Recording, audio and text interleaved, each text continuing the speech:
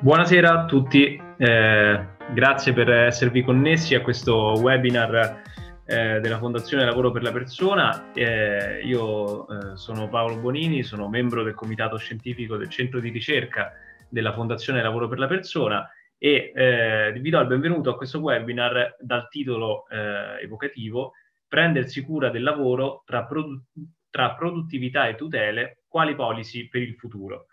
Eh, prima di entrare nel vivo dei nostri, dei nostri lavori, lasciatemi eh, ricordare alcune piccole regole tecniche. Vi chiediamo di tenere il microfono in muto per eh, evitare rumori di sottofondo e vi ricordo che chiunque lo desideri può eh, porre domande eh, ai relatori direttamente scrivendo nella chat all'account Zoom, Zoom Domande e domande che saranno poi poste eh, al termine insomma, degli interventi. Um, prima di, di, la, di, presentarvi e poi dare la parola ai relatori, eh, vorrei raccontarvi brevemente eh, che cos'è la Fondazione Lavoro per la Persona e eh, che, cosa, che, cosa, facciamo sostanzialmente. Siamo una fondazione di partecipazione, un gruppo formato da persone, imprese e organizzazioni. E crediamo nella promozione del lavoro come bene fondamentale dell'uomo. In questo eh, senso eh, seguiamo e investiamo nel principio personalista che è anche recepito dalla, dalla Carta Costituzionale eh, italiana, appunto, e quindi che eh, mh, cerchiamo di leggere il lavoro come un bene irrinunciabile e eh, soprattutto fondamentale non solo per l'individuo, ma anche mh, per l'individuo che entra in contatto con gli altri, quindi per la persona che crea comunità eh, democrazia e civiltà e quindi è il lavoro come strumento anche di elevazione spirituale. Un po' riprendendo l'idea di eh, Adriano Olivetti, che eh, diceva che eh, appunto, eh, o, riferendosi alla fabbrica, ma vale per tutti gli ambienti di lavoro, ehm, che eh, appunto negli ambienti di lavoro eh, bisogna assumersi il compito fondamentale di generare cultura, comunità e democrazia. Quindi il lavoro come mezzo fondamentale di benessere non solo materiale per tutta la società.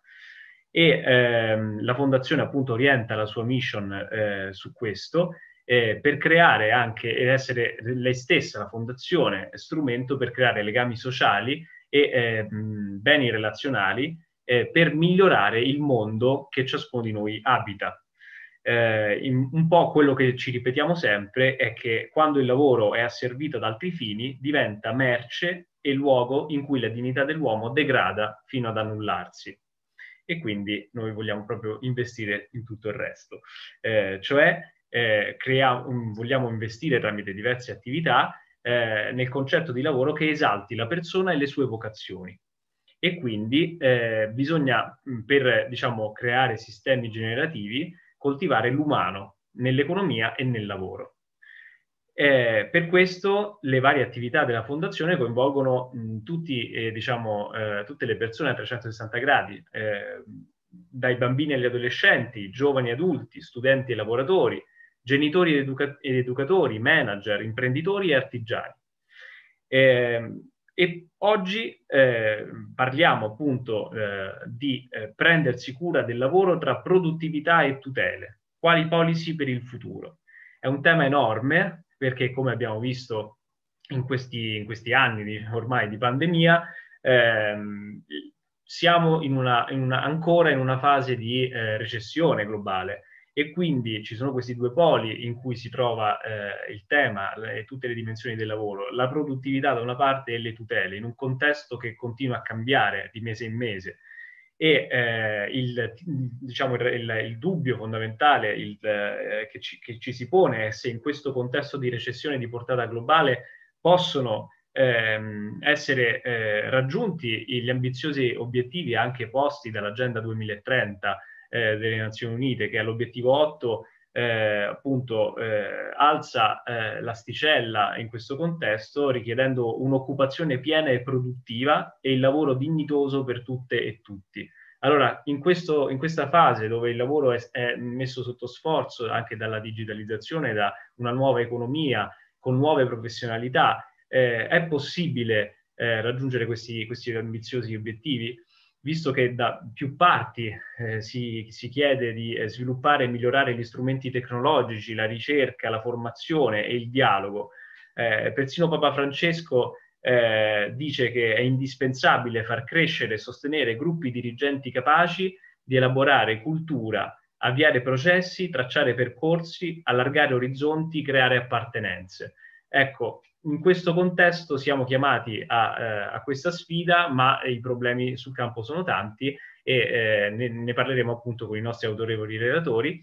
Eh, ne rifletteremo con eh, Federico Martelloni, che è professore associato in diritto del lavoro all'Università di Bologna, si occupa delle trasformazioni del lavoro e del welfare e ehm, è redattore eh, della rivista Lavoro e Diritto, scrive su numerose altre riviste scientifiche eh, tra le sue ultime pubblicazioni, eh, lavoro, coordinato e subordinazione, l'interferenza delle collaborazioni al progetto e lavoro, diritto e democrazia. A seguire intervengono Mario Fiumara, che è referente ASVIS del gruppo di lavoro finanza per lo sviluppo sostenibile e del gruppo ehm, di lavoro trasversale associazioni di impresa per l'attuazione del patto di Milano. Giurista, è stato dal 1990 al 2018 un alto dirigente di un gruppo bancario multinazionale con responsabilità nella gestione delle risorse fino all'anno 2001 e nella conduzione del business dal 2001 al 2018. Attualmente in pensione è stato anche consigliere di amministrazione di banche, camere di commercio, consorsi di ricerca, nonché presidente per le regioni Emilia-Romagna e Lazio dell'Associazione Bancaria Italiana. E eh, con Maria Enrica Virgillito che è ricercatrice in economia politica presso l'Istituto di Economia della Scuola Superiore Sant'Anna di Pisa. Eh, dopo il dottorato, dal 2017 al 2019, è stata ricercatrice presso il Dipartimento di Politica Economica dell'Università eh, Cattolica del Sacro Cuore di Milano. Ha svolto diversi periodi di ricerca all'estero in istituzioni di prestigio, è Research Fellow presso il Global Labour Organization è membro di progetti di ricerca Horizon 2020 finanziati dall'Unione Europea e collabora con istituzioni internazionali come l'ILO e eh, l'Organizzazione per la cooperazione e lo sviluppo economico. I suoi temi di ricerca riguardano la dinamica evolutiva di imprese e settori produttivi, l'analisi del cambiamento tecnologico e eh, relativi impatti sul mercato del lavoro, la dinamica macroeconomica studiata attraverso lo sviluppo dei modelli ed agenti eterogenei e la diseguaglianza. A questo punto eh, non vi rubo altro tempo, vi ringrazio ancora per l'attenzione, per esservi collegati con noi e do subito la parola a Federico Martelloni. Grazie mille. Grazie infinite Paolo per la tua presentazione, grazie più in generale alla Fondazione Lavoro per la Persona per questo invito. Eh, non mi dilungo nei saluti e nei ringraziamenti, anche se devo confessarvi che mi fa piacere partecipare a un'iniziativa su questi temi alla vigilia del primo maggio. Eh, prometto di essere nei tempi e quindi eh, vi eh, prego di perdonarmi per le approssimazioni, i tagli, le grossolanità di cui mi renderò colpevole, ma eh, quello che posso promettervi è che è un'intenzione di eh, servizio e rispetto dei tempi che mi sono stati assegnati e che Paolo ha ricordato. Dunque, innanzitutto il lemma, la scelta di questa iniziativa, l'idea della cura del lavoro nel quadro costituzionale ha alcuni referenti anche di carattere tecnico-giuridico, al di là della dimensione evocativa che è stata ricordata nell'introduzione, ma io rispondo subito di sì. Rispondo subito di sì perché nell'ordinamento giuridico italiano, come ridisegnato da una carta che ha scelto di porre il lavoro alla base dell'edificio repubblicano, vanno ricordati almeno due responsabili della cura del lavoro. Da un lato lo Stato, che ha una serie di compiti finalizzati, come è noto, alla rimozione di ostacoli eh, che anche in termini di fatto, oltre che di diritto, eh, limitano diciamo, il pieno sviluppo della persona umana anche attraverso il lavoro. E per quanto riguarda i compiti dello Stato, eh, valgono i compiti che lo Stato assume con riguardo all'effettivo esercizio del diritto al lavoro, eh, valgono con riguardo alla tutela non solo della persona che lavora, ma della persona che è impossibilitata a svolgere un'attività lavorativa o che è troppo anziana per svolgere un'attività lavorativa e quant'altro. Quindi non solo il diritto al lavoro, non solo il diritto del lavoro, ma anche l'assistenza eh, e la previdenza sociale. E accanto allo Stato c'è un altro soggetto, un soggetto privato, il datore di lavoro, che accanto all'obbligo fondamentale di corrispondere la retribuzione in un contratto di scambio, di scambio di lavoro contro retribuzione, ha un secondo obbligo molto importante, previsto da una eh, norma del Codice Civile del 42, che è una delle norme più apprezzate, specie dalle scuole che hanno molto insistito sul connotato personalistico del rapporto di lavoro penso, visto che c'è qualcuno tra noi che ha frequentato la Cattolica di Milano, a Luigi Mengoni e Mario Napoli, tra i grandi giuristi che hanno approfondito questo tema. Il datore di lavoro, ai sensi dell'articolo 2087 del Codice Civile, ha un secondo obbligo fondamentale che è un obbligo di sicurezza. L'obbligo di assicurare l'integrità fisica e la personalità morale del lavoratore. E questo obbligo è stato, diciamo, al centro nella complicata stagione della pandemia e si è dovuto bilanciare, ha dovuto prevalere su esigenze legate alla produzione, all'economia, alla continuazione dell'attività produttiva, con mediazioni che il legislatore talvolta anche discutibilmente ha posto in essere. Secondo, eh, secondo elemento come la pandemia è intervenuta rispetto allo stato dell'arte che precedeva la pandemia, su quale ambito è intervenuta e determinando quali effetti. Beh, io direi che si può rispondere a questa domanda in tre maniere diverse. Primo punto, la pandemia ha senz'altro acuito alcune condizioni contraddizioni, alcuni elementi che erano già propri dei mercati del lavoro dell'Europa continentale, in particolare del mercato del lavoro italiano. La pandemia ha, senza ombra di dubbio, acuito le diseguaglianze, tanto sociali quanto di genere. È arcinoto, lo dicono tutti i dati, che c'è chi eh, in contesto pandemico si è arricchito, c'è chi si è impoverito e tra coloro che si sono impoveriti di lavoro e di reddito ci sono innanzitutto le donne e i giovani. Al tempo stesso, la pandemia, ed è una seconda risposta, ha consegnato all'immaginario collettivo, al dibattito pubblico, alcune centralità. Ci sono dei segmenti del mercato del lavoro anche particolarmente esposti e particolarmente fragili agili che hanno guadagnato una centralità a tratti persino drammatica, ma raccogliendo attenzione e anche empatia da parte dell'opinione pubblica. Faccio due esempi. Il lavoro di cura, compreso il lavoro svolto nel comparto sociosanitario, direi innanzitutto il lavoro svolto nel comparto sociosanitario, ma anche il lavoro nella logistica. E quando dico il lavoro nella logistica, posso fare riferimento ai lavoratori e alle lavoratrici delle aziende appaltatrici e subappaltatrici di grandi multinazionali come Amazon, per dirne una, o posso fare riferimento a quelli che Massimo Gramellini ha battezzato felicemente su un caffè che è stato molto letto dai miei colleghi, dalle mie colleghe giuslavoriste e giuslavoristi, i cavalieri della pandemia, i rider, coloro che in una certa fase in cui eravamo tutti costretti a casa in ragione delle regole che ci hanno giustamente imposto il distanziamento sociale, percorrevano le strade con dei visibilissimi cubi colorati per consegnare beni e cibo a domicilio. Terzo aspetto, terzo elemento, c'è qualcosa che resterà dopo la pandemia. C'è qualche elemento di permanenza nel post pandemia.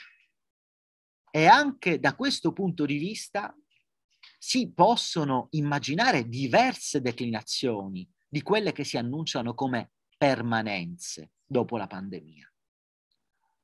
Hanno delle accezioni molto negative e molto preoccupanti e possono avere delle accezioni anche positive persino con riguardo al tema della produttività del lavoro nella stagione post-pandemica.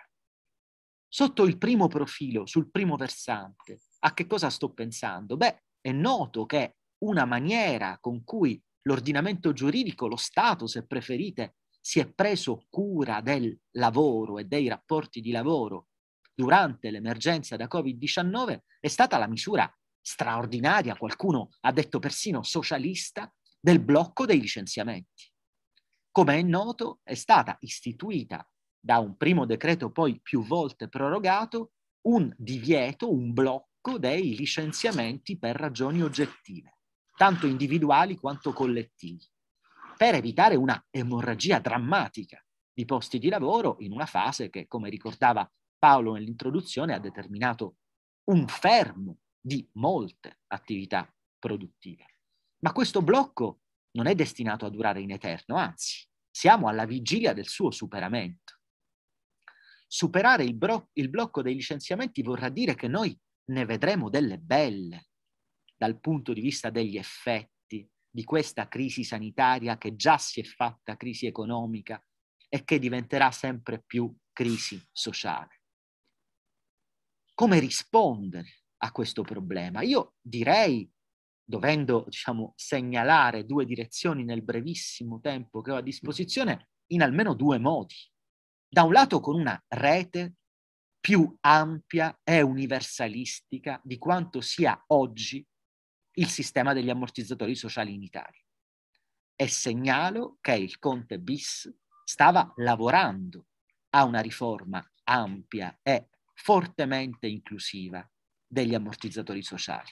E quando dico ampia e inclusiva, intendo dire con la ferma intenzione di includere anche il lavoro non subordinato tra i destinatari delle misure di sostegno.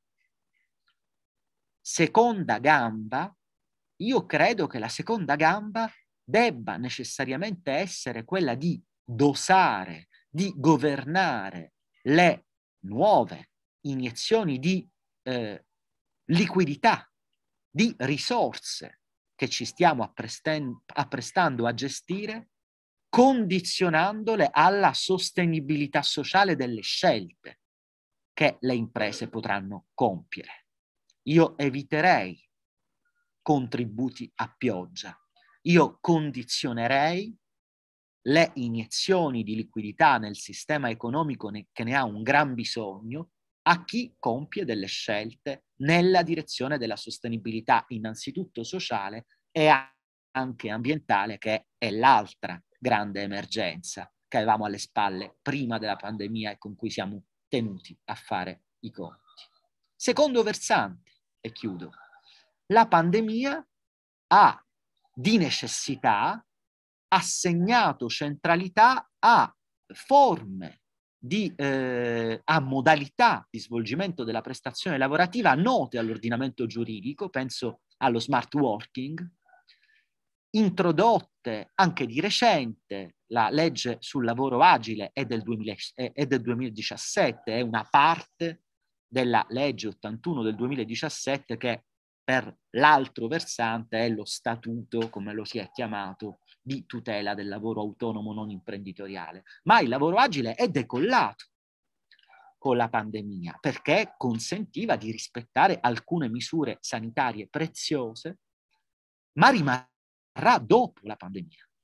Allora, posto che questa forma del lavorare pone senz'altro dei problemi di invasività della dimensione lavorativa nella sfera privata, quali scelte il legislatore e la contrattazione collettiva opereranno per salvaguardare un tempo persona, un tempo protetto dalla invasività del lavoro.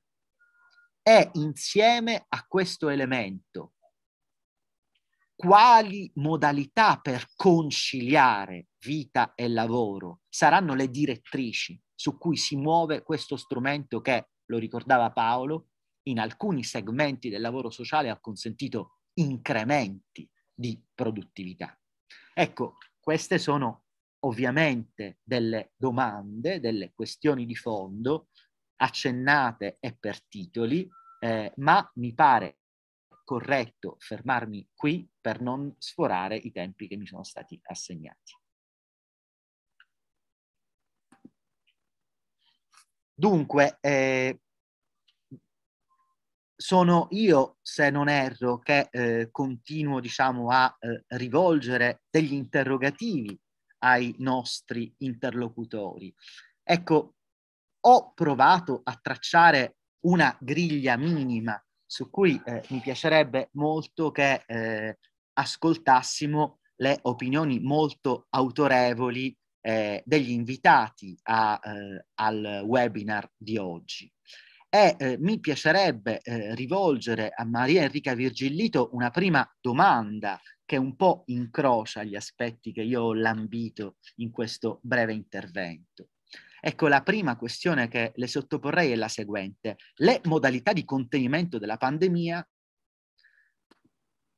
hanno richiesto a tutti un enorme sforzo. Il lavoro in questo contesto è l'ambito che forse ha subito una pesante e decisiva depressione.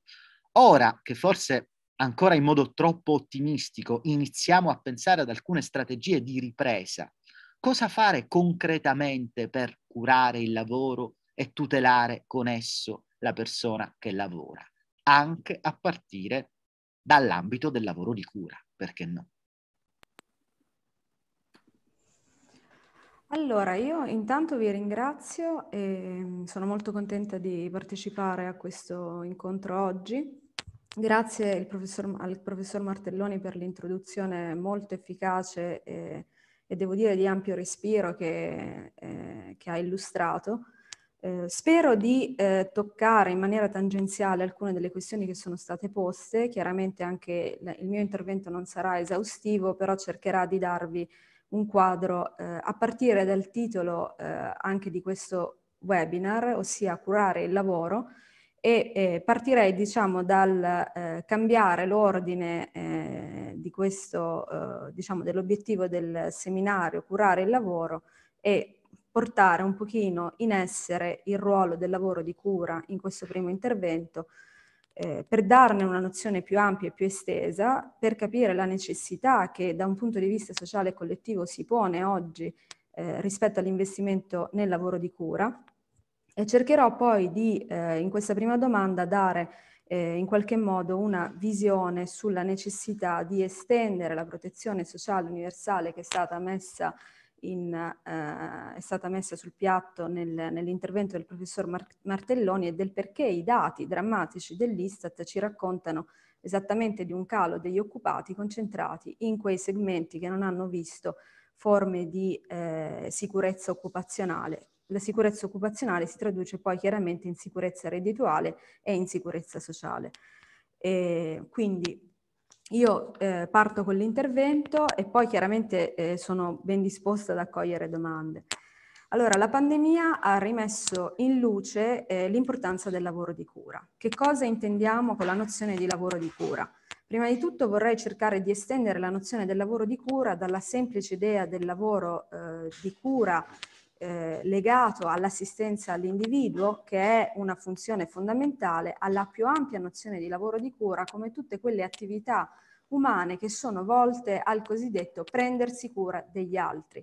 Moltissimi eh, lavori e moltissime mansioni all'interno dell'assetto produttivo contemporaneo prevedono delle forme del prendersi cura degli altri e chiaramente ci sono delle, dei gradi, diciamo, se volete, differenziati del, eh, di questa funzione eh, rispetto tra le varie occupazioni. I tre principali settori ai quali possiamo attribuire, eh, se volete, la nozione di lavoro di cura, anche a partire dalla prevalenza di questa attività, di quanto spende il lavoratore o la lavoratrice nel proprio tempo di lavoro nell'attività di curare altri, sono l'istruzione, la sanità e i servizi di assistenza e cura alla persona. La domanda di tale lavoro è ampiamente aumentata nel tempo e quello che si prevede sulla base di statistiche che sono state prodotte eh, dal Bureau Labor Statistics negli Stati Uniti è che nei prossimi dieci anni sei tra le principali occupazioni saranno concentrate nel settore del lavoro di cura così ampiamente definito. Tuttavia, da una parte, se da una parte aumenta se volete, una, in termini economici, una domanda, del, un aumento di bisogno di lavoro di cura, c'è anche un problema dell'accesso del, eh, se volete, finanziamento o comunque in termini strettamente economici, se anche non mi piace, dell'offerta del lavoro di cura. Perché dico questo? Perché questi tre settori sono tre settori che storicamente hanno visto una larga presenza del pubblico Tuttavia noi dobbiamo accostare un aumento del bisogno del lavoro di cura a un processo graduale di privatizzazione di questi settori. Tale processo di privatizzazione è risultato in una riduzione della spesa pubblica per tali settori. Vediamo in particolare il calo nel settore dell'educazione, vediamo il calo nel settore della, della, eh, della sanità pubblica ed una riconfigurazione e rifunzionalizzazione della sanità privata verso che cosa? Verso quelle attività, verso quelle funzioni che sono, se volete, a basso eh, grado di rischio e ad alto grado, se volete, di rendimento e di profitto. Che cosa vuol dire? Vuol dire che un assetto sanitario di tipo privato non eh, focalizza la propria attenzione, la propria eh, diciamo, organizzazione interna nel, nelle attività ad esempio di monitoraggio e di controllo, ma neanche nell'attività del pronto soccorso, tantomeno nelle terapie intensive. Questo non lo dico io, lo dice il professor Garattini che eh, come sapete eh, insomma, è un'illustre eh, figura nel campo medico e diciamo, la graduale penetrazione del privato negli spazi del pubblico porta a mettere, come dire, in discussione questo bilanciamento. Da una parte un aumento di bisogno, un aumento di esigenza di queste mansioni e dall'altra parte un arretramento dello spazio dello Stato sociale. Adesso il PNRR, la mia valutazione, ma poi su questo possiamo anche concentrarci, di fatto non dà segnali particolarmente positivi e in termini occupazionali, se mettiamo insieme questi tre segmenti, copriamo all'incirca 4 milioni e mezzo di lavoratori. Fatemi fare un focus sul, eh, in particolare sul settore dei servizi di assistenza e di cura alla persona, in cui purtroppo questo settore è di fatto eh, gestito da forme di gare d'appalto che sono basate sulla legge del massimo ribasso. La legge del massimo ribasso comporta che tutti eh, i driver di organizzazione interna dei processi produttivi si concentrino sulla riduzione dei costi e la riduzione dei costi si scarica poi sui tempi e sui ritmi di lavoro di operatori e operatrici.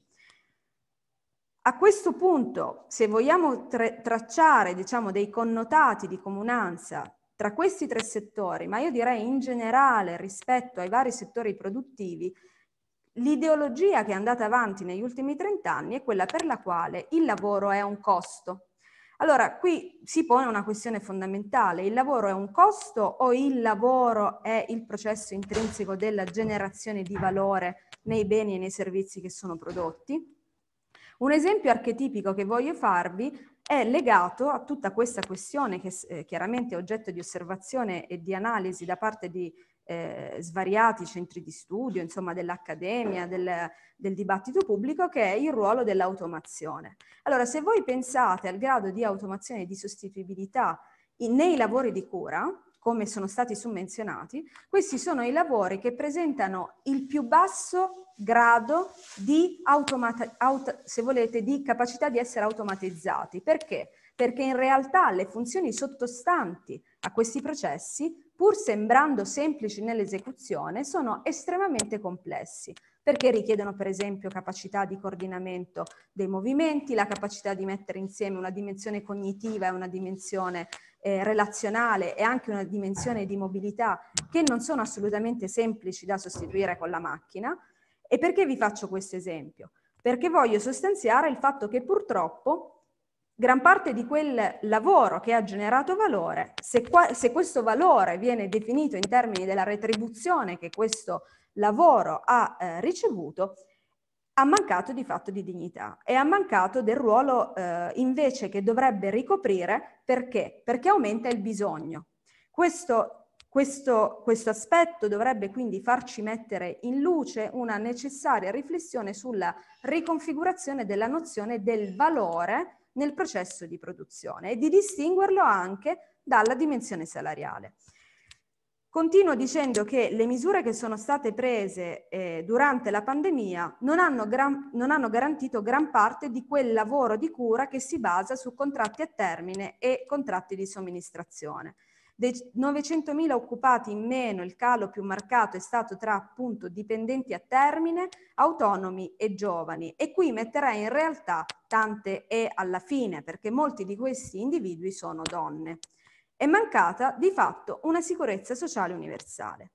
Ora, se questo è, come dire, il contesto che emerge ed esplode, si amplifica nella fase pandemica, la fase pre-pandemica è stata una fase che è stata, se volete, governata dal mantra per il quale la diseguaglianza è il motore dello sviluppo. E la diseguaglianza è meritocratica. Perché? perché la diseguaglianza nel reddito, nelle condizioni di vita, quindi il fatto che io possa vivere nel centro di una città rispetto che una periferia, la diseguaglianza nelle carriere, è molto ancora oggi vista come derivante dalle abilità cognitive degli individui. Gli individui che vivono al centro di una città, che godono di eh, 50 metri quadri eh, a persona, in, scusate, di eh, 150 metri quadri a persona, che hanno ampi spazi eh, per poter svolgere magari il loro lavoro da casa sono persone che meritano le condizioni eh, di privilegio alle quali sono eh, esposte. Questa condizione della meritocrazia ci ha fatto anche perdere, se volete, ehm, in qualche misura perdere l'oggetto, perdere la barra di osservazione rispetto alle determinanti della diseguaglianza. Perché se voi prendete la dispersione, la diseguaglianza nelle abilità cognitive tra gli individui e la, dise la diseguaglianza nei redditi degli individui, la diseguaglianza nei redditi è molto più ampia che nelle abilità degli individui. Questo vuol dire che non necessariamente il merito e le capacità individuali, come dire, determinino il reddito. La diseguaglianza non passa solamente infatti dalla dimensione dell'individuo, ma passa molto più da condizioni di tipo strutturale. Queste condizioni strutturali sono la provenienza, l'origine, la dimensione territoriale e queste vanno inquadrate, queste diseguaglianze vanno inquadrate all'interno di un paese in cui la mobilità sociale, quindi la possibilità di miglioramento rispetto alle condizioni di partenza, si è di fatto cristallizzata e questa cristallizzazione è stata sancita eh, a partire dal se volete, dal 93-94 e oggi la vediamo eh, nella sua massima, diciamo, eh, espressione.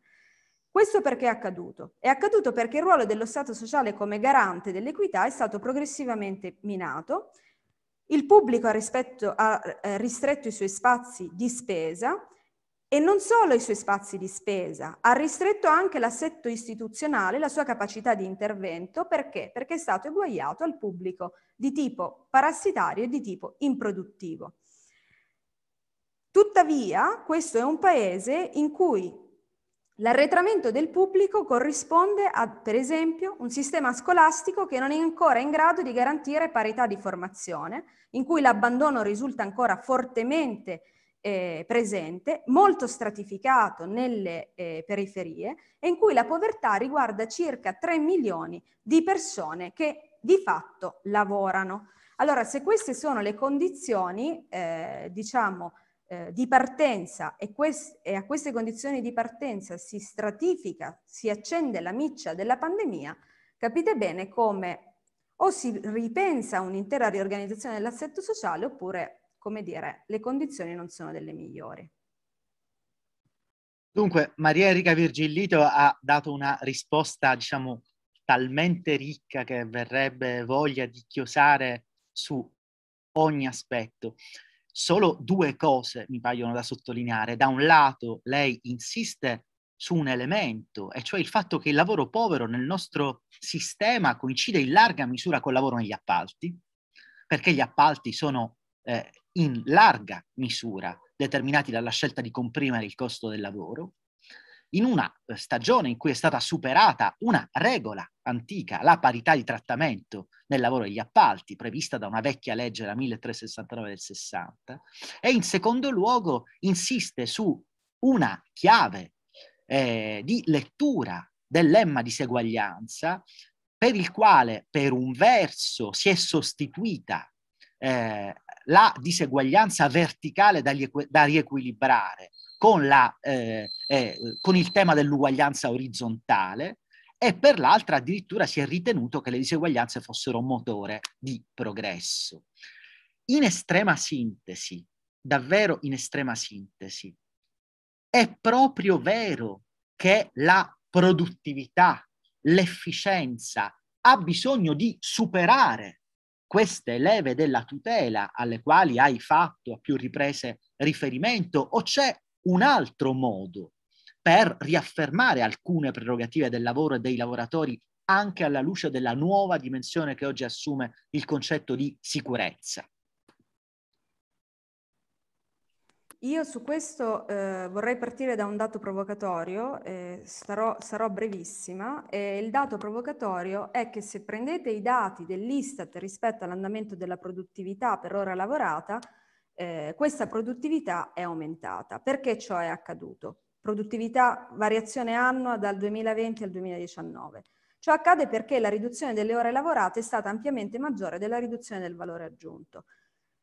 Fatta questa premessa, quindi il fatto che guardare alla produttività in termini aggregati deve essere qualificato eh, perché possiamo avere degli effetti, come dire, di eh, confusione legati dal dato, così come a giugno 2020 era stato eh, diffuso il dato che eh, la disoccupazione fosse diminuita, ciò era accaduto solamente per un aumento della transizione verso l'inattività, quindi stiamo attenti ai dati che guardiamo. Il punto che vorrei mettere eh, in luce è questo. Che cos'è che determina la produttività? Dal punto di vista meramente, ve lo dico, de- economico e delle statistiche. Il primo driver di aumento di produttività è l'investimento. L'investimento netto nel settore della manifattura in attrezzature, impianti e strumentazioni in Italia è largamente negativo nell'ultimo decennio, dagli anni 2013 al 2017, con segnali di ripresa nel 2018. La produttività stagna in Italia, ma non stagna per tutte le imprese. Il tessuto è caratterizzato da una forte dicotomia tra che cosa? Due tipi di imprese. Imprese che stanno sul mercato del lavoro, passatemi il termine, galleggiando, ed imprese che pagano che sono in, imprese tendenzialmente che investono poco, pagano bassi salari e un cosiddetto fringe di imprese che invece presentano alta capacità organizzativa, capacità di investimento, strutture di gestione della forza lavoro non basate sul controllo e sul monitoraggio, ma invece sulla partecipazione e sulla crescita formativa, sull'autonomia nel processo di lavoro. Tale dicotomia, che se la potete mettere in termini gazzella-tartaruga, ha portato all'emergere di un forte dualismo nella struttura produttiva e ciò si lega, ma non è del tutto spiegato, dalla dimensione di impresa. Questo dualismo l'abbiamo visto anche nella capacità delle imprese di mettere in piedi dei sistemi di sanificazione degli impianti del, della struttura interna, del, del per esempio garantire ai propri dipendenti, alle proprie dipendenti delle condizioni sanitarie decenti, nelle capacità di monitorare il fatto, di prevenire il fatto che il virus potesse diffondersi all'interno dei luoghi di lavoro. Se prendete i macelli, sono stati uno dei luoghi in cui, così come il settore della logistica, in cui la diffusione del virus è stata maggiore. Adesso, quali sono le policy che servono per incrementare questa produttività? Prima di tutto occorre fare, cioè favorire un processo di creazione di dipartimenti di ricerca e sviluppo all'interno delle imprese ed occorre avere un cambio totale nella gestione delle politiche del personale, che devono passare da gestione delle politiche volte al controllo e al monitoraggio a quelle volte invece alla partecipazione diretta degli individui nel processo di lavoro. E occorre ridurre e non aumentare i carichi di lavoro. Chiudo citando la Spagna che ha avviato da quest'anno un processo di sperimentazione della riduzione dell'orario di lavoro da 36 ore medio a 32 ore e chiudo sottolineando che in Italia la media delle ore lavorate è di 38, 37-38. Quindi le, mie, le, le, dire, le considerazioni che vorrei fare è la produttività aumenta se ci sono processi di investimento, la produttività aumenta se c'è coinvolgimento nel processo di lavoro. Fine della fine. Molte grazie Maria Enrica Virgillito, davvero ricchissima e, e molto suggestiva questa, questa rappresentazione. E passerei la eh, parola a Mario Fiumara, eh, al quale porrei subito un tema sul quale diciamo, già Maria Enrica eh, ha insistito, specie nell'ultima, nell'ultima domanda. Sostenibilità, sicurezza e produttività spesso vengono rappresentati come poli inconciliabili, alternativi di un discorso. Esistono delle policy che eh, consentano una nuova stagione della produttività in grado di far mantenere alla sicurezza la centralità che ha assunto e tenendo la sostenibilità, anche la sostenibilità sociale, come imperativo? Vi è questa possibilità di quadratura del cerchio?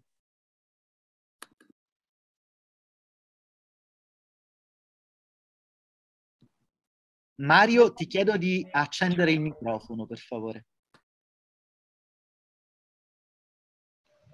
Eccomi, sì, grazie. Volevo, riprendo. Innanzitutto volevo ringraziare l'organizzazione per avermi voluto invitare a questo interessantissimo webinar. E poi vorrei fare anche mie una parte delle sue eh, premesse e quindi cercherò di essere anch'io nei tempi, quindi a costo di essere molto sintetico. Dunque, eh, io credo che noi viviamo in un momento storico piuttosto complesso che ci fa apparire spesso uh, inconciliabili o comunque contraddittori esigenze, eh, obiettivi, necessità che invece dovrebbero ineluttabilmente essere portati avanti congiuntamente.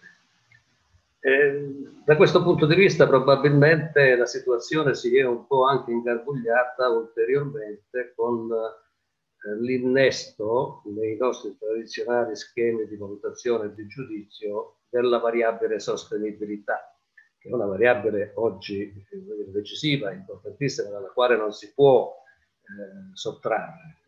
Purtroppo anche, anche coloro i quali cercano disperatamente di dimostrare che il problema non sussiste ogni tanto vanno a sbattere contro l'evidenza.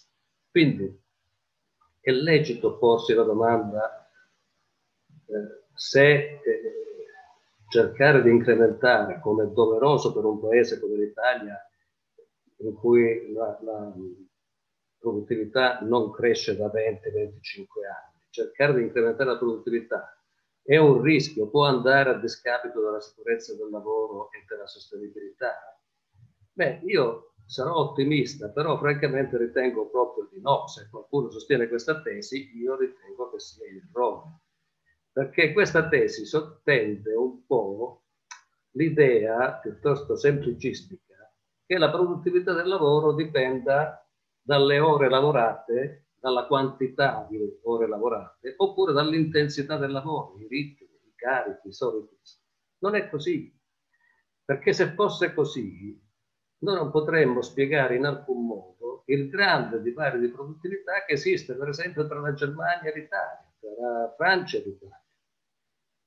La Germania negli ultimi vent'anni ha visto crescere la sua produttività del lavoro di circa 22 punti percentuali, mentre invece l'Italia ha visto crescere la sua produttività del lavoro di 3 o 4 punti peraltro acquisiti tutti negli ultimi cinque anni, a seguito probabilmente, io penso, presumo, a seguito di quell'iniziativa dell'ex ministro eh, Calenda, Impresa 4.0, che ha come dire, agevolato gli investimenti delle imprese produttive, soprattutto in tecnologia. In realtà, per poter rispondere a questa domanda, secondo me dobbiamo cercare di capire quali sono i veri driver della produttività che cos'è che influenza la produttività di un'azienda o di un sistema, diciamo meglio di un sistema che è il sistema Italia per quello che ci interessa. Non è la quantità di ore lavorate, non è il carico di lavoro, è l'organizzazione del lavoro e la tecnologia più o meno innovativa che si usa nell'organizzazione del lavoro. La produttività è influenzata anche in maniera significativa dai vantaggi di scala. fare incrementi di produttività in una multinazionale o in una grande impresa è certamente più facile che in una microimpresa.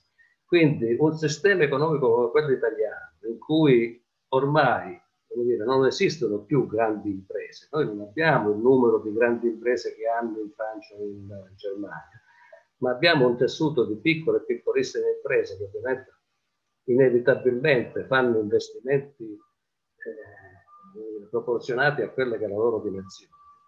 È chiaro che questo è un fattore di difficoltà nella crescita della produttività. La produttività poi è anche molto influenzata dal livello di investimenti che si fa in formazione del, lavoro, del lavoratore cioè quanto tu investi in competenze e in capacità, quanto investi per migliorare queste competenze e queste capacità. Oh, teniamo presente che in Germania si lavora mediamente 1350 ore l'anno. In Italia si lavora mediamente 1730 ore abbiamo qualcosa come quasi 400 ore in più di lavoro, un'enormità, dovremmo avere noi una produttività mille volte superiore a quella della Germania. Non è così, perché?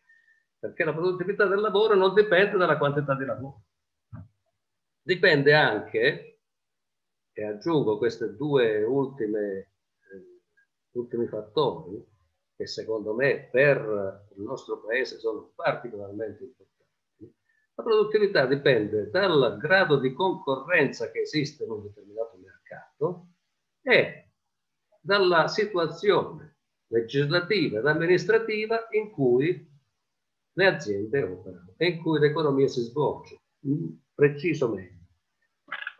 Se noi andiamo a guardare la produttività per settori nel nostro paese, ci accorgiamo che la produttività del settore manifatturiero che però ahimè pesa solo il 18% del totale dell'economia, è più o meno accettabilmente confrontabile con la produttività del settore manifatturiero francese o tedesco o di altri paesi, perché sono settori che sono costretti ad operare in un regime di competizione e di concorrenza interna o esterna.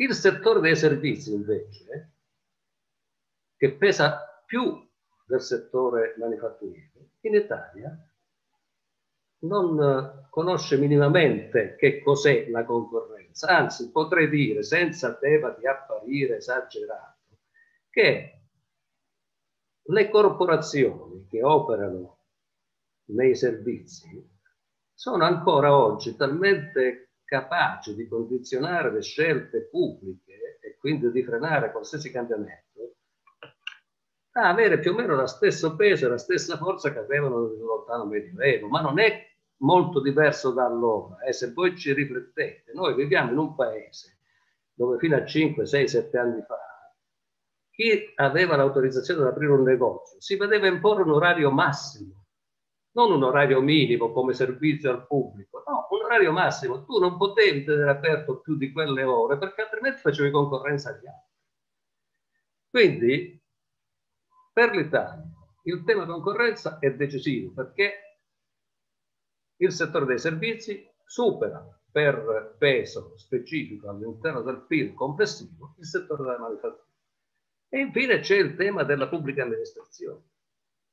Se non si ha il coraggio di intervenire su quelle, se si continua a far gravare sulle imprese italiane, manifatturiere o di servizi che siano, costi dell'ordine di 57 miliardi l'anno solamente di rapporti diretti con la pubblica amministrazione e senza contare le perdite di tempi, di, di, di spese legali, eccetera, eccetera, che la pubblica amministrazione comporta.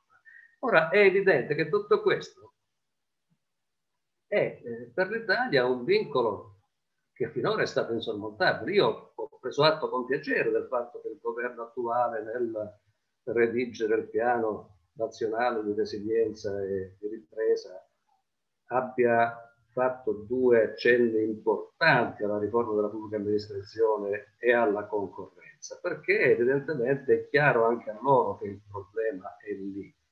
Quindi io non trovo assolutamente inconciliabile il fatto che in un paese come l'Italia si possa puntare ad avere incrementi notevolissimi di produttività senza mettere in discussione minimamente, e se c'è qualcuno che sostiene il contrario è in malafede, senza mettere in discussione minimamente il fatto che la sicurezza sul lavoro e la sostenibilità siano comunque fattori che possono essere salvaguardati nel mentre si ricerca l'aumento della produttività. È ovvio che devi adottare delle policy che vadano in questo senso, cioè tu devi in qualche misura spingere e incentivare gli investimenti in formazione del personale, formazione, formazione, formazione, quanto più possibile. Devi incentivare gli investimenti in tecnologie moderne, innovative. Devi quindi lottare contro le incrostazioni, eh, come abbiamo detto, anticoncorrenziali che ancora imperversano nel paese, deve avere il coraggio di incidere sulla pubblica amministrazione che prima o poi dovrà essere trasformata da palla al piede dell'economia a elemento facilitatore della, del fare. E poi... Mario, ti vorrei chiedere una cosa, sì. ma questo quadro che rappresenti può avere una particolare declinazione in un segmento, una direttrice, un obiettivo che viene eh, sottolineato moltissimo anche dalle istituzioni sovranazionali, quelle dello sviluppo sostenibile, perché l'Agenda 2030 pone molta attenzione per un verso al lavoro dignitoso, per l'altro alla crescita economica e, tal- e, e taluno indica questo elemento dello sviluppo sostenibile come una grande possibilità anche di rilancio dell'economia con sosten- sostenibilità, eh, diciamo, ambientale e sociale. Che cosa pensi, diciamo, eh, delle, delle cose, dei ragionamenti che hai sviluppato rispetto a questo elemento particolare? E poi ripassiamo la parola a Paolo Bonini per le conclusioni di questo incontro. Eh, eh, il tema della produttività è un tema che esiste e angoscia un po' l'economia italiana da 25 anni circa, quindi è un po' atavico, ce lo portiamo dietro e ci siamo, come dire, quasi abituati al declino e alla, alla perdita di competitività. Il tema che invece mi sta ponendo lei con questa seconda domanda è, è diverso, cioè eh, la dignità del lavoro che è, affermata dal Goal 8 dell'Agenda 2030 che eh, impegna i paesi firmatari di quell'agenda, cioè quindi tutti i paesi del mondo, tutti gli aderenti all'ONU hanno firmato nel 2015 quell'agenda. Li impegna tutti a cercare di operare per arrivare a quel fine, che è quello della tutela ovviamente dello sviluppo sostenibile, della sostenibilità in genere, quindi della lotta alle disuguaglianze, soprattutto quelle disuguaglianze che dipendono da fattori aggredibili in maniera eh, evidente. E, e, quindi anche qui la domanda è, per fare di capire, ma è conciliabile in questo contesto di crisi globale, di crisi generalizzata, di, di, eh, di recessione, di, all'inizio di questo secolo, se vi ricordate, si parlava, ma ancora se ne parla, di stagnazione secolare e non è che fossero ragionamenti campati in aria, eh, perché c'erano e ci sono ancora delle condizioni che inducono a ritenere che si tenda più verso la deflazione che verso la, l'inflazione. Ora, eh, sono inconciliabili questi, questi, due obiettivi, cioè quello di eh, eh tutelare il lavoro, assicurare lo sviluppo sostenibile e e venire fuori da questa situazione di eh, recessione globale. No, anche qua io rischio di diventare troppo ottimista, ma anche qua non è così, non la vedo.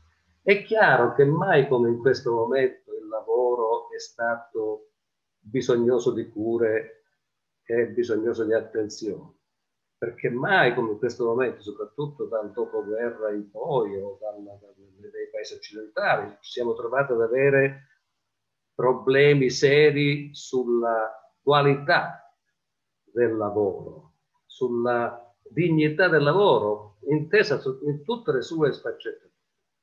Io credo che noi abbiamo subito in questi ultimi 30-40 anni l'effetto di due megatrend molto forti ai quali non abbiamo avuto la capacità di opporci. Uno è la globalizzazione.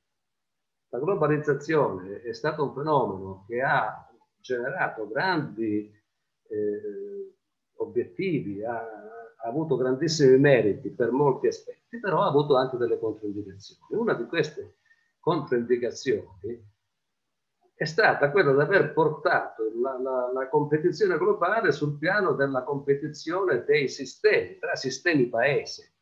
Con questo creando delle situazioni di continue eh, dire, fibrillazioni macroeconomiche che hanno poi in pratica eh, generato un, un, sistema in cui il lavoro eh, veniva a perdere forza relativa nei confronti del capitale, cioè l'effetto principale che ha avuto ai fini di questo webinar la globalizzazione è stato quello di squilibrare, di eh, alterare l'equilibrio tra capitale e lavoro che si era creato in 50 anni dopo, dopo la guerra. Questo squilibrio è stato, questo equilibrio è stato disarticolato a beneficio del capitale e a danno del lavoro, con ciò creando i primi vulnus.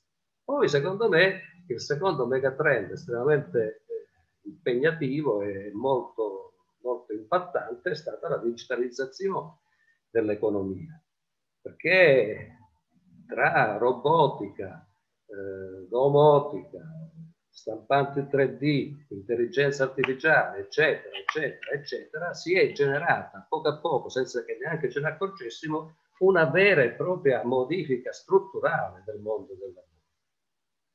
E possiamo dire in pratica che siamo immersi in una nuova rivoluzione industriale, che sia la quarta o la quinta, poco importa, che sta operando come hanno operato le precedenti, cioè distruggendo, avendo una fase distruttiva di lavoro e una fase costruttiva che spesso non coincidono dal punto di vista temporale. E in più direi che va sottolineato come la, le caratteristiche peculiari di questa rivoluzione industriale che è data dalla rivoluzione informatica, digitale, sono, sono queste. Innanzitutto il fatto che la rivoluzione digitale impatta prevalentemente il lavoro cosiddetto intellettuale, a differenza di quelle precedenti che impattavano sul lavoro manuale rendendolo più leggero, meno pesante. In più, il, i posti di lavoro che finora, da quello che abbiamo visto, eh, la, la, la digitalizzazione produce, diciamo che sono pochi i posti di lavoro altamente qualificati e ben retribuiti, e sono molti i posti di lavoro che crea che sono poco qualificati, poco retribuiti e direi anche poco stabili, piuttosto piuttosto precario. Quindi, eh, di fatto, questa, questa, questo evento importante della digitalizzazione, ah, poi c'è un terzo, terzo fattore che non va dimenticato. La digitalizzazione può consentire che si perda il lavoro in un punto geografico e venga sostituito col lavoro in un altro punto geografico. Noi possiamo perdere lavoro a Roma e vederlo sostituito con lavoro a Dublino, e l'abbiamo già visto.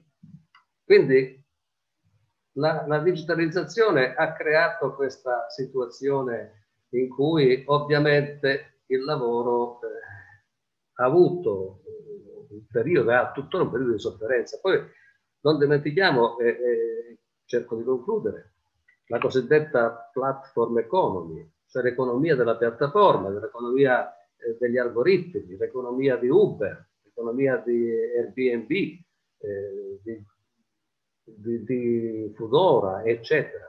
Questa, queste, queste nuove forme di economia gestite da un sofisticato software che crea una piattaforma ed è gestito da un algoritmo.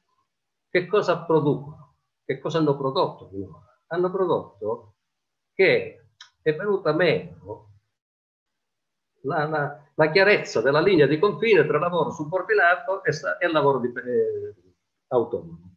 E si è creato una nuova, un nuovo ircocervo che è il lavoro autonomo subordinato, cioè un lavoro privo di tutele. Tutto qua.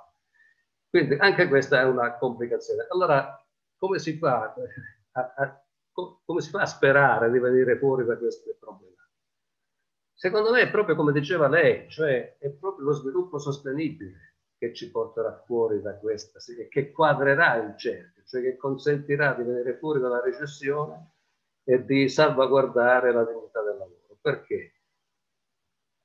Perché di fatto il sistema di sviluppo sostenibile delineato dai 17 obiettivi del, dell'agenda ONU 2030 parte eh, dire, il fatto che è un discorso di sostenibilità a 360 gradi che comprende la sostenibilità economica, quella sociale e quella eh, ambientale, ma fondamentalmente richiede un cambio di paradigma, una modifica sostanziale del modello di sviluppo su cui ci siamo basati finora, dalla prima rivoluzione industriale ad oggi. E bisogna passare inevitabilmente da un modello di sviluppo attuale ad un altro modello di sviluppo in cui si inquini di meno e si consumi di meno, si consumi meno materia. Cioè bisogna andare verso la decarbonizzazione e verso l'economia circolare, per dirla in parole chiare. Per fare questo, solo in Europa è necessario spendere nel decennio attuale, diciamo 2021-2030, qualcosa come 250 miliardi l'anno, cui 100 sono stati già dire, eh, impostati dalla Commissione europea. Gli altri dovranno essere eh, messi sul mercato dai singoli stati e dalle, dalle aziende private. Quindi, in futuro, i soli investimenti eh, in decarbonizzazione ed in eh, economia circolare saranno quelli che consentiranno di ovviare la perdita di lavoro che può derivare da quei fenomeni che avevamo detto, perché tutti i calcoli che vengono fatti dai, dagli studiosi più avveduti dicono che se si farà quello che si sta, perlomeno in Europa, prefigurando di fare con la Commissione von der Leyen, con l'Ex Generation EU, eccetera, si andrà a creare le condizioni per creare più lavoro di quanto se ne distrugge, molto più stabile, molto più dignitoso. Io ci credo e ci spero, ma non, vedo, non credo che ci siano altre strade. E quindi dice Mario Fiumara che dopo la crisi del compromesso socio-economico di matrice taylorista-fordista che aveva come suo ambito di dispiegamento lo Stato-nazione, messo in crisi dalla globalizzazione, dopo la rivoluzione digitale che ha anche despazializzato il lavoro, una prospettiva possibile, forse l'unica, è un New Deal sovranazionale per un verso, socialmente sostenibile, ambientalmente sostenibile come chiave possibile di, eh, di rilancio. Le vostre, vo- le vostre risposte sono state molto, molto ricche, molto suggestive. I tempi mi impongono di eh, passare la parola a Paolo Bonini per le conclusioni e per quel poco che posso, intanto vi ringrazio moltissimo perché le cose che avete detto, anche diverse, in parte eh, diverse, sono state molto interessanti. Grazie mille professore. E in realtà appunto sono conclusioni diciamo operative, non vogliamo togliervi altro tempo perché visto che ci siamo allungati eh, ringraziamo davvero tutte le domande che sono arrivate e non abbiamo modo purtroppo di dargli voce, quindi eh, e come sempre, come è tradizione ormai dei webinar della Fondazione, eh, torniamo a casa con più domande, eh, ancora più domande che, che non risposte, e, ehm, che nonostante tutti i temi trattati. Io volevo ringraziare subito eh, Giorgio Tintino, eh, pro, eh, mm, project manager della, del centro di ricerca e il nostro presidente Gabriele Gabrielli, eh, presidente della fondazione, per aver organizzato tutto questo. E vi dico solo tre cose. Il prossimo webinar eh, della fondazione eh, a cui vi diamo appuntamento è previsto per venerdì 14 maggio alle ore 18.30 e sul tema lavoro, scuola e società, quale spazio per le nuove generazioni e quindi vi aspettiamo ancora per eh, continuare a riflettere sull'impatto che eh, appunto il lavoro e la scuola possono generare per le nuove generazioni.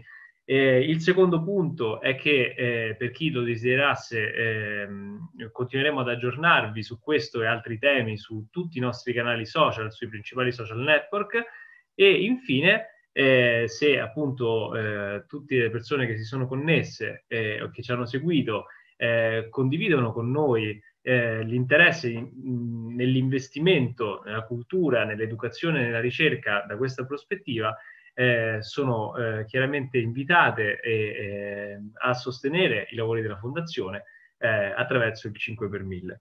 Quindi eh, vi ringraziamo davvero ancora per, per, la pazienza, ringraziamo i nostri autorevoli e davvero interessanti relatori e ci diamo appuntamento allora al 14 maggio e buona festa del lavoro eh, a tutti quanti e a tutte quante.